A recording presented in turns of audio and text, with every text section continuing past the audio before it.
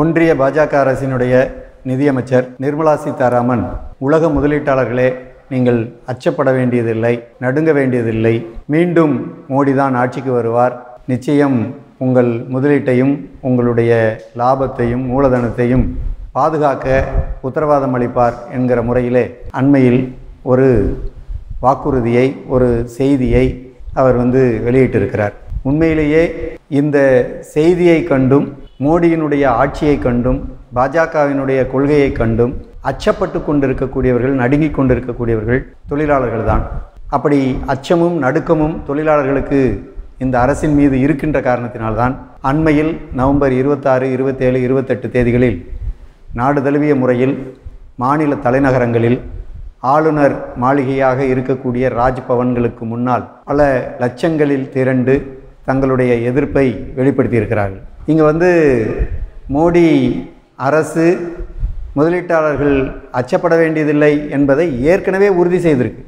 நிர்மலா சீதாராமன் அவர்கள் பேசிய பிறகு இன்றைக்கும் நேற்றைக்கும் இரண்டு தினங்களாக செய்திகள் வந்து கொண்டிருப்பது எதை சொல்லுது அப்படின்னா இந்திய நாட்டினுடைய தொழிலதிபர் அதானி உலக பணக்காரர்களுடைய பட்டியல் மீண்டும் பத்தொன்பதாவது இடத்திற்கு வந்துவிட்டார். கடந்த ஆண்டு அவருடைய பொசிஷன் என்ன? மூணாவது இடத்துக்கு வந்தார்.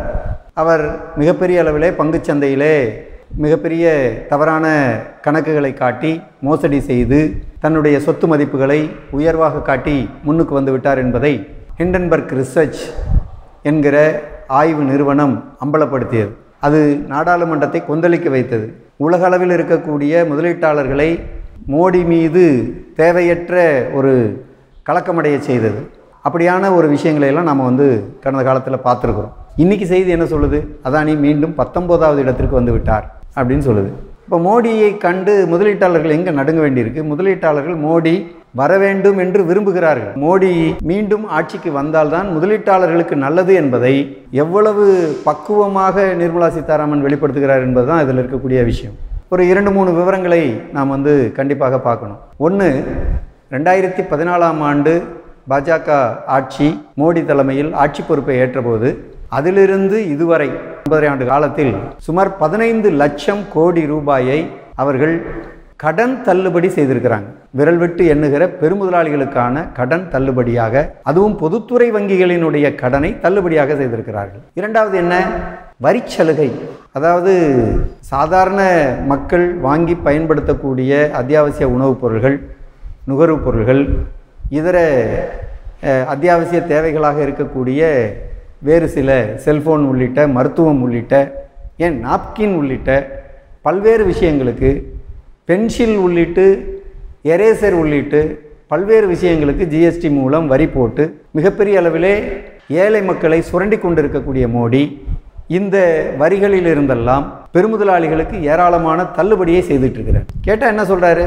அது வந்து ஏற்கனவே இருக்கக்கூடிய ஆட்சியாளர்கள் செய்தது. ஏற்கனவே இருக்கக்கூடிய ஆட்சியாளர்கள் செய்தது தவறு என்பதனால தானே மோடி பிஜேபி தலைமையிலான ஆட்சி வந்தது. நிர்மலா சீதாராமன் நிதியமைச்சராகவும் வாய்ப்பு கிடைத்தது. நாடா இராணுவ அமைச்சராக வாய்ப்பு கிடைத்தது. அப்போ இதையெல்லாம் பிஜேபி மூடி மறைப்பதற்காக ஒரு உண்மையை இன்னைக்கு வந்து தொடர்ந்து மூடி மறைக்கக்கூடிய வேலையை செய்துட்ருக்குறாங்க இப்போ நம்ம வந்து வருமான வரி சலுகைகள் ஏராளமாக கொடுத்துட்ருக்கிறத பார்க்குறோம் தொழில் துவக்குவதற்கான வரி சலுகைகள் ஏராளமாக கொடுத்து கொண்டிருப்பதை பார்க்குறோம். சிறப்பு பொருளாதார மண்டலம் போன்ற காரணங்களால் ஐந்து ஆண்டுகளுக்கு அந்த நிறுவனம் வரி சலுகை என்பதை அனுபவித்து கொண்டிருப்பதை பார்க்குறோம். அதுக்கு மேலே நிறுவனங்கள் வங்கிக் கடன் வாங்கியதை தள்ளுபடி செய்வதை பார்த்துருக்கிறோம்.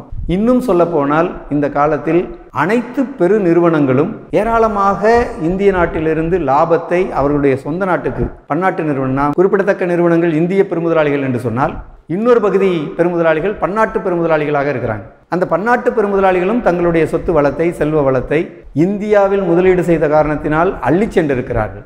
இதெல்லாம் நாம் வந்து கடந்த காலத்தில் பார்க்க தான் செஞ்சுருக்கிறோம். இப்போ இப்படியான ஒரு உண்மை நிலவரங்கள் இருக்கும்போது நிர்மலா சீதாராமன் அவர் முதலீட்டாளர்களை பார்த்து நீங்கள் நடுங்க வேண்டாம் அச்சப்பட வேண்டாம் என்று சொல்லுவது உண்மையிலேயே உண்மையைத்தான் சொல்லியிருக்கிறார். இப்போது நடுங்கிக் கொண்டிருக்கக்கூடியவர்கள் இந்தியாவில் இருக்கக்கூடிய தொழிலாளர்கள் இந்தியாவில் இருக்கக்கூடிய வேலையற்ற இளைஞர்கள். நிர்மலா சீதாராமன் ஒரு நிதியமைச்சர். அவர் பட்ஜெட்டின் போது சில முக்கியமான விவரங்களை சொல்லியிருக்கிறார். நாங்கள் ஆட்சிக்கு வந்தால் எங்களுடைய இந்த அரசு இன்னென்ன வகைகளில் வேலை வாய்ப்பை பெருக்கும் அப்படின்னு சொல்லி சில விஷயங்களை சொன்னார். MSME midi medium and small industrial entrepreneurs. அவங்களுடைய சிறு குறு தொழில் அதிபர்களுடைய வேலை வாய்ப்பை தொழில் வாய்ப்பை பெருக்குவதற்கு ஏராளமான சலுகைகள் என்று சொன்னாங்க. ஆனால் இப்போ என்ன நடந்துட்டுருக்கு? கோயம்புத்தூரில் தற்கொலை வேறு பல்வேறு நகரங்களில் தற்கொலை. நீங்கள் அண்மையில் ஒரு கொடுமையை வந்து சந்தித்தோம் கோவை மாநகரத்தில். அதாவது ஒரு சிறு குறு தொழில் உடைமையாளர் வங்கியில் வாங்கிய கடனுக்காக இரவில் வீடு ஜப்தி செய்யப்படுகிறது. எனவே வீட்டை விட்டு வெளியேற வேண்டும் என்று ஒரு வங்கி அதிகாரிகள் காவல்துறையினுடைய துணையோடு ஒரு சிறு குறு உடைமையாளரை வெளியே அனுப்பக்கூடிய நிலைமையை பார்த்தோம். கொரோனா காலத்தில் சிறு குறு தொழிலதிபர்களுக்கு ஆத்ம நிர்பர் யோஜனா என்கிற பெயரில் மோடியும் நிர்மலா சீதாராமனும் முன்வைத்த திட்டங்கள் அதன் மூலம் இருபது லட்சம் கோடி ரூபாய் நிவாரணம் தரப்படுவதாக சொன்னாங்க. என்ன நடந்தது? இந்த கோவை சிறு குறு தொழிலதிபர் வீட்டை ஜப்தி செய்ய வந்தபோது அவருடைய நிலைமை என்ன?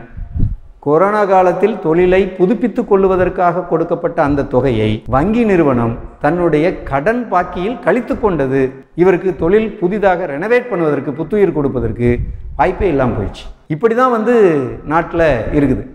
வெறுமனே மோடியோட ஆட்சியில் தொழிலாளர்கள் மட்டுமல்ல விவசாயிகள் மட்டுமல்ல வேலையற்ற இளைஞர்கள் சிறு குறு தொழில் உடைமையாளர்கள் விவசாயிகளும் கூட பணக்கார விவசாயிகள் கூட தப்பிக்க முடியாது என்கிற நிலைமை இதெல்லாம் வந்து நாம் பார்த்துட்ருக்கோம் அப்படி இருக்கிற பின்னணியில் அச்சப்பட வேண்டியவர்களும் நடுங்க வேண்டியவர்களும் இந்திய மண்ணில் யாராக இருக்கிறார்கள் என்று சொன்னால் பெரும்பான்மை மக்களாக இருக்கிற தொண்ணூற்றி ஐந்து சதம் பெரும்பான்மை மக்களாக இருக்கக்கூடிய இந்த விவசாயிகள் தொழிலாளர்கள் விவசாய தொழிலாளர்கள் வேலையற்ற இளைஞர்கள் மாணவர்கள் சிறு குறு தொழிலதிபர்கள் பணக்கார விவசாயிகள் வணிகர்கள் இவங்கெல்லாம் வந்து மிகப்பெரிய அளவில் பாதிக்கப்பட்டிருக்காங்க. இவங்க தான் இன்றைக்கி அச்சப்பட வேண்டியிருக்கு நடுங்க வேண்டியிருக்கு. ஏன்னா இவர்களுக்கு எதிரான கொள்கையை தான் பிஜேபி முன்னிறுத்தி கொண்டிருக்கிறது.